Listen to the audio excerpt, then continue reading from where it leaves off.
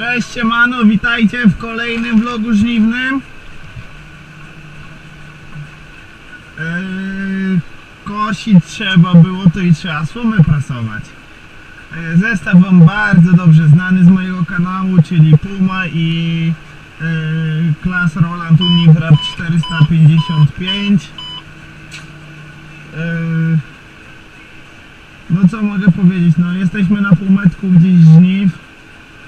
Yy, chłopaki sobie koszą dalej. Ja już wziąłem się za prasowanie słomy. Ten kawałek był wczoraj z, skoszony.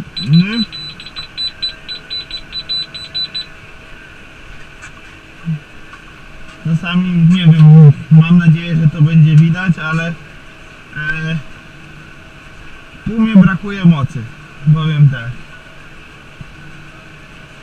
Przy tej ilości masy.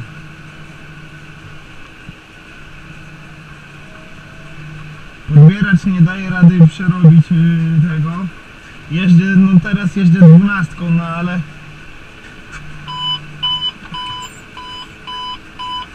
Yy, czyli jakieś tam 10,8 na godzinę 10,9 ale yy, no muszę zwalniać do 90 dziesiątki nawet.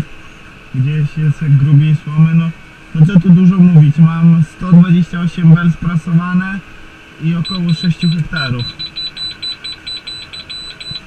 No to słoma jest. Yy, mogę wam się pochwalić, że dzisiaj pobiłem swój rekord życiowy w ciągu godziny czasu sprasowałem 54 bele no to jest bardzo fajnie pracuję już yy, trzecią godzinę bo zacząłem yy, o 17.35 w pierwszej godzinie zrobiłem 50, yy, 40 bel ale to z racji tego, no bo musiałem poprzeczniaki poodprasowywać. To wiadomo, wolniej trzeba było. E, prasę zapchałem to też zeszło. I w drugiej godzinie pobiłem swój rekord życiowy. Sprasowałem 54 bele ale w trzeciej godzinie, żeby e, nie poprawić tego rekordu to też zapchałem prasę.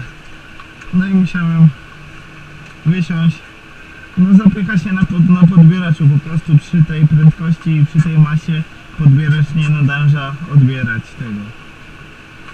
Nie wiem, może ja jeszcze nie umiem e, ustawić tej naszej prasy. Jeżeli jest ktoś mądry, który, kto by umiał ustawić tą prasę, no to bardzo chętnie wysłucham. No co, no w tamtym roku belki coś tam próbowały zatrzymywać się. W tym roku mam zrobione 130 bel i żadna bela się nie zatrzymała. E, bo no już doszedłem co jest. E, podniosłem po prostu MPS-a od razu w tym roku, w tamtym roku w połowie sezonu do tego doszedłem dopiero. W połowie prasowania słomy no i później no te bele były jakie były, rozpadały się. Mam nadzieję, że w tym roku będą lepsze. No a w tym roku od razu wyłączyłem MPS-a. Yy, podciągnąłem trochę ciśnienie na komorze. Prasuję na 160 atmosferach. Tak? Nie, przepraszam, na 160 barach. Yy, no i co, no zrzucam sobie dwie belki do kupy. E, w tamtym roku e, zrzucałem po, po dwie, e, pojedynczo, na jednym polu tylko zrobiłem na dwie. No ale z racji tego, że woziliśmy na dwa tury, jeden tur rozładował, drugi ładował, kuzyn pożyczył nam 60 turem, bardzo fajna maszyna, bardzo zwinna. W tym roku prawdopodobnie też będziemy prasowali, e, zbierali 60 tą belę, e, a jeżeli nie, no to to pod prunara będzie w sam raz dwie belki się na krokodyla weźmie, a jeżeli nie, no to 60 nie trzeba będzie tyle jeździć. Y,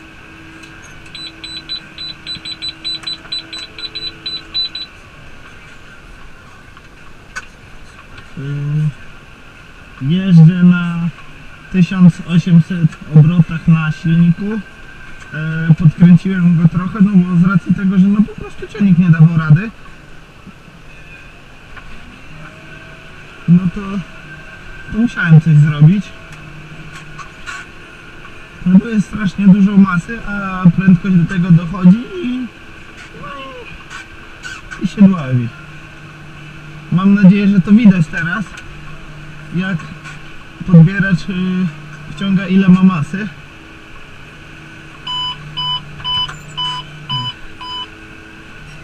Przy dobijaniu trochę mocy brakuje. E, w końcu po można powiedzieć półtora sezonie e, założyłem gaśnicę do prasy. E, tyle się słyszy w tym roku, że tyle maszyn się spaliło. No co prawda to jest chyba 7-kilowa gaśnica. Albo 5, nie wiem dokładnie. Co prawda jeżeli się coś zacznie palić no to to będzie ciężko e, ugasić, bo wszystko jest suche. No ale, ale czyste sumienie będę miał. Jakby się nie daj Boże coś zaczęło palić no to mam gaśnicę na prasie. Będę próbował walczyć. Lepiej żebym jej nie używał yy, bo nie chcę takiej potrzeby. Jest, bo jest, niech będzie.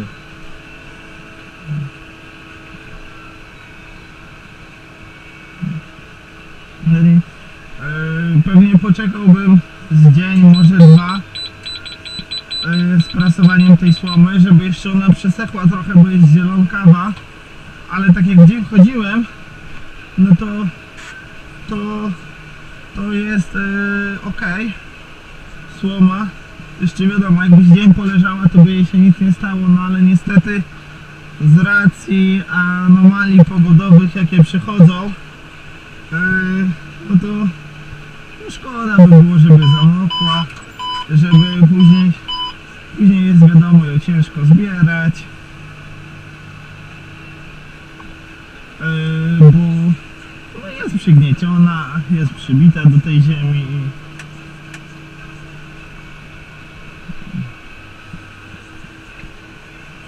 no jutro niby nadają też upały, a z racji tego, że jak będą upały, no to może popadać deszcz, no y, jeżeli, jeżeli się uda, no to, to jutro y, skończę prasowanie słomy. Y, w tym roku potrzebujemy około 700 bel słomy, mam zrobione 135, myślę, że jeszcze 130 na tym polu zrobię, tu mamy 14 hektarów, także Także myślę, że tutaj powinno być około 300 bel. Eee, drugi kawałek też 15 hektarowy zostawiamy. Tam dzisiaj chłopaki koszą. Eee, mam nadzieję, że będzie podobnie słomy, może trochę więcej. Także także E, na spokojnie powinno starczyć. Jeszcze około 40 bel z tamtego roku zostało nam słomy. A w tamtym roku zrobiłem około 500. No i bym zaraz wyrywał słomę, bo się zagadałem. E, około 500 zrobiłem, ale mieliśmy jeszcze e, jakieś 100, może 150 bel z poprzedniego sezonu, czyli sprzed, sprzed dwóch lat. To także w tym roku myślę, że około 700 bel słomy powinno wystarczyć.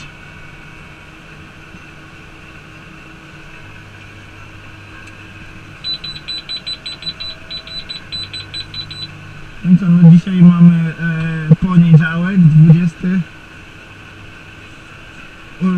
8, tak? 20, a 29 już dzisiaj jest.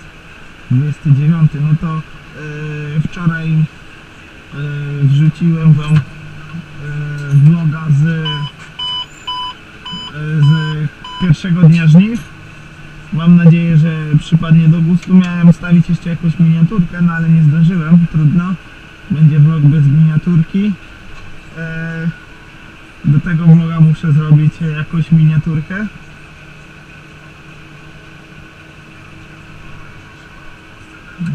Yy,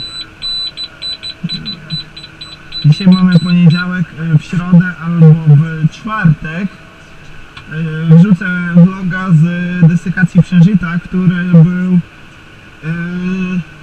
które było tydzień temu w środę desykowane, ale uznałem, że że nie będę go wrzucał, yy, bo no, wrzucę z koszenia najpierw pszenicę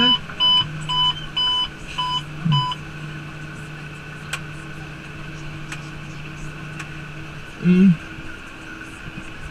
i dlatego e, ten vlog z prasowania będziecie mieli pewnie w niedzielę dopiero.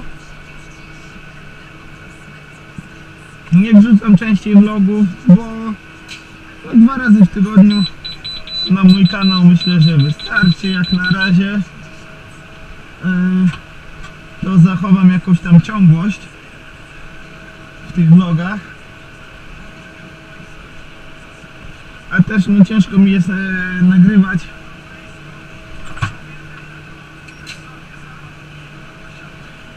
e, ciężko jest mi cokolwiek nagrywać no bo dzisiaj chciałem też nagrywać bo do godziny 15 e, byłem e, na miejscu i, i chciałem nagrać magazynowego vloga takiego z podrzucania zboża, bo sypiemy już do stodoły zboże. Część sprzedajemy. Silosy mamy już zapełnione. To po prostu co się nie wyrabiamy ze sprzedażą to sypiemy do stodoły. No i akurat ja dzisiaj pół dnia byłem w, e, na magazynie podrzucałem zboże, no fajny wyszedłby myślę, że z tego vlog no ale to to trzeba było przyczepy przygotować do transportu, bo, bo chłopaki jeszcze e, wywozili. E, dzisiaj nam pomaga jeszcze Piotrek, e, kolega, który e, jego case'a możecie e, znać gdzieś tam z Facebooka. E, przyjechał swoim ciągnikiem e, case'em 95 JX-u. e, pomaga nam wozić, bo po prostu no tak dwa case'y poszły do transportu, Pronar poszedł do, do, do stodoły podrzucać zboże, no i brakowało nam maszyn a jeszcze poszły w kolejkę dzisiaj ciągniki, no i też no 80 ciągała zboże Perkinsa wczoraj odwoziliśmy także brakuje nam maszyn dla, e, Dlatego właśnie też e, poprosiliśmy Piotrka o pomoc. Piotrek przyjechał e, i dzisiaj ciąga zboże cały dzień. E, Pewnie będziemy mu pomagać kosić i odwozić też, no bo trzeba sąsiadowi odrobić. On nam pomaga, to i my mu pomożemy.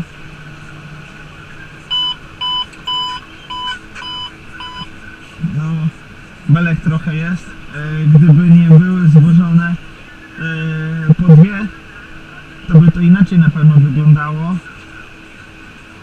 Byłoby dużo gęściej na polu, no ale ale teraz też nie wygląda mało.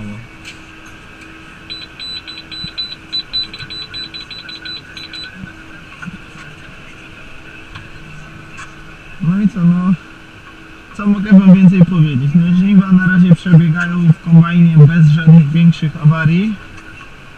Tutaj jaka słowa. Muszę do dziesiątki schodzić, czyli 7,7 na godzinę.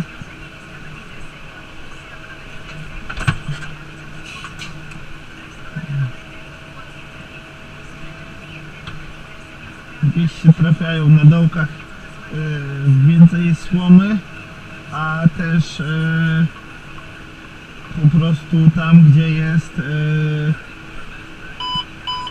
no, leżące było zboże, Paweł zwalniał kombajnem i tą słomę automatycznie y, więcej narzuciło. I tak trzeba trochę uważać. Zaraz mi się siatka skończy. Jeszcze parę belek i trzeba będzie wymieniać. E, W tym roku prasujemy słomę na e, siatce CNH e, 3000 metrów. Z tego względu, że no po prostu wychodziła lepiej e, niż 2000 metrów. To najekonomiczniej, ale e, nie wiem, wyprasuję, bo jeszcze jedną mam siatkę i nie wiem, czy nie pokuszę się, żeby założyć e, tą ze ściągaczami e, na końcach, bo no jest trochę droższa, a tutaj no nie podobają mi się trochę te bele, bo e, żeby ze 2 cm, no 3 z każdej strony była bardziej dociągnięta bela, to by inaczej bele wyglądały. No ale no trudno, jest taka siatka jaka jest, trzeba ją wyprasować. I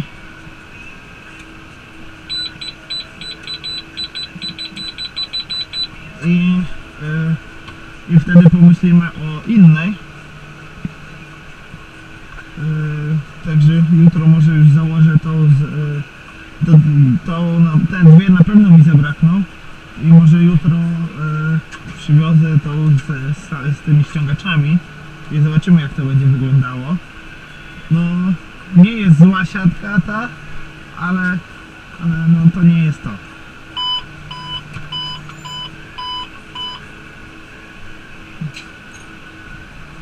Się w kabinie robi, klima chodzi, na podwórku jest bardzo parno. Co, no w kajsie już 1200 godzin e, wybiło, już teraz będzie około 1300, robiliśmy duży przegląd między żniwami małymi a dużymi.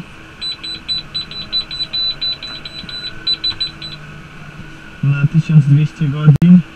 E, Jest świeżo po, po przeglądzie, filtry są nowe kabinowe, dlatego też klima lepiej chłodzi. A na podwórku jak się wyjdzie, no to jest duszno.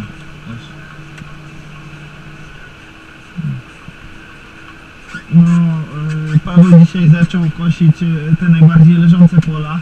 E, Tutaj leżało, leżała pszenica, ale, ale nie aż tak bardzo. Dzisiaj, wczoraj to zaczął, dzisiaj to skończył. Te leżące i pojechał na, na dalsze pole, gdzie no po prostu tam 80% leży tego zboża. Tam będziemy też sobie zostawiali, zostawiamy słomę, będziemy to prasować, no zobaczymy jak to wyjdzie, bo tutaj e, no w gospodarstwie zabieramy e, słomę e, tam, gdzie ma ich rzepak. W tym roku na tym polu będzie rzepak i, i jeszcze właśnie tam na tym drugim, gdzie teraz dzisiaj Paweł kosi. E, No bo po prostu e, z jesieni, jeżeli jest susza, no to ten rzepak sobie lepiej radzi. I i dajemy też pod rzepak obornik. E, No tutaj nie będziemy na tym polu dawać obornika, bo, bo nam nie starczy. Tutaj był dawany obornik e, 4 lata temu.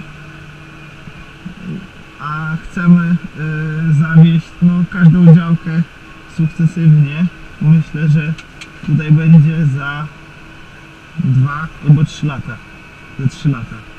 To będzie rzepak, 2 lata pszenica. Chyba, że jeszcze e, w międzyczasie wejdzie tutaj bobik, to, to, to się to przesunie.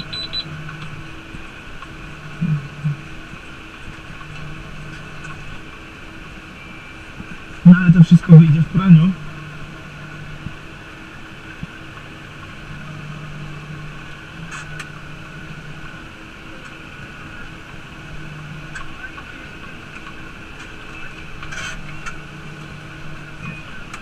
jeden ścież, przejazd więcej, żeby Paweł przekosił, to byłoby lepiej, bo tak nie skakał ciągnik prze, przejeżdżając przez ścieżkę.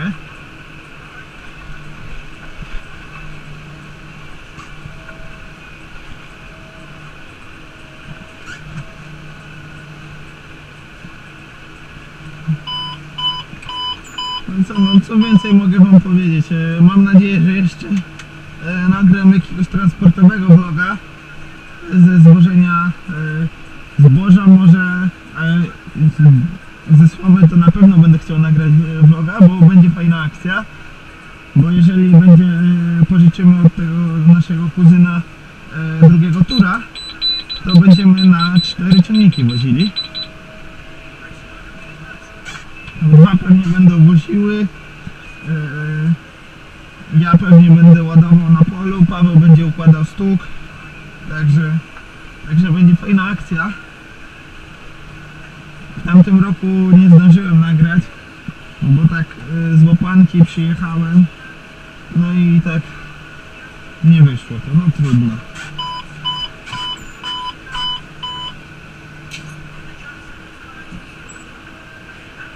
No i co no?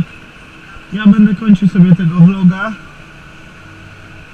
No więcej wam tu nic nie pokażę nie powiem więcej e, było 130 bel, no mamy 100 149, także e, 19 bel przez e, 15 minut vloga. No myślę, że, że nie jest źle. No i co, no pamiętajcie zajrzeć do chłopaków, do Damiana i do Tomka, będziecie oczywiście mieli linki w opisie. E, łapkujcie, subujcie, komentujcie. No i co? W tym vlogu to by było na tyle. Oczywiście nie zapomnijcie wpaść na Facebooka. Prasa już pokazuje stop, czyli kończymy tego vloga. To co, trzymajcie się, do następnego, cześć!